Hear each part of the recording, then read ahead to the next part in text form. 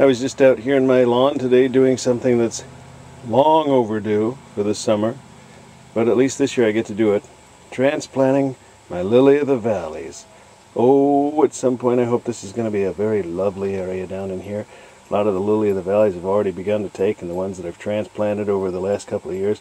But one day, hopefully, this will all be a tropical paradise of lily of the valleys. I mean, this, this area that I'm transplanting is about the worst spot in the world, in a way because it's all rocky. I mean, it's tough to transplant the stuff and put it in here. But anyways, I thought of it as an encouraging kind of a thing to Christians who are using God's Word to try to help folks.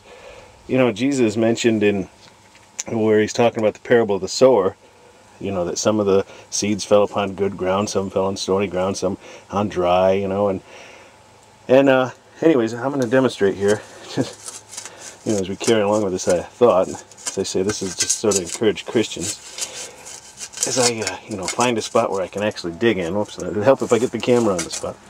You know, think of this shovel as, as God's Word. The Bible says that God's Word is quick and powerful and sharper than any two-edged sword. Well, say no sword, but it's got two edges on it anyway. So we're cutting down in here. We're working on trying to trying to plant something that's good. So uh, I can't, uh, with all my power, smash uh, into this here. I can't uh, but the shovel's doing a halfway decent job anyway.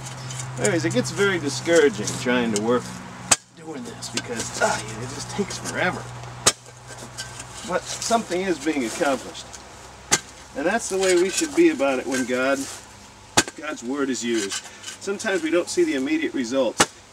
And it, it just seems to take forever. But God's patient with those who He works with with His Word. So all we have to do is keep using it. Keep using God's Word. Eventually, you will, well not you, God will prevail. God will uh, make His Word effective uh, and your work will not be in vain. Uh, little by little, that which is not needed will be removed. The ground is actually made to be fallow, is that the word? I don't know. See. God will prepare the soil and make it workable if the soil, the heart, is uh, yielded to Him. Like this ground's not fighting me. This ground's allowing itself to be worked with.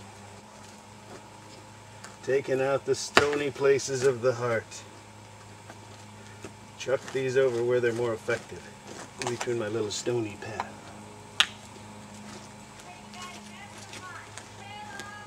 Uh-oh. She's helping me for a second.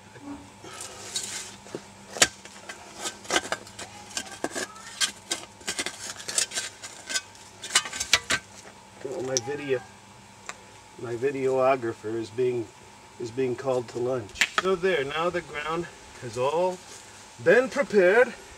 So now something better can be planted. Well, it doesn't look too swift now, but providing it doesn't croak, stays alive, bleh, it'll be better. Alright?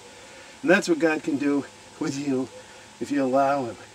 Make something better of your life. But those of you that are using God's Word to help others, don't get discouraged. Don't quit. For it says in the Bible, Be not weary in well doing, for in due season ye shall reap if ye faint not. Don't quit. Keep using God's Word.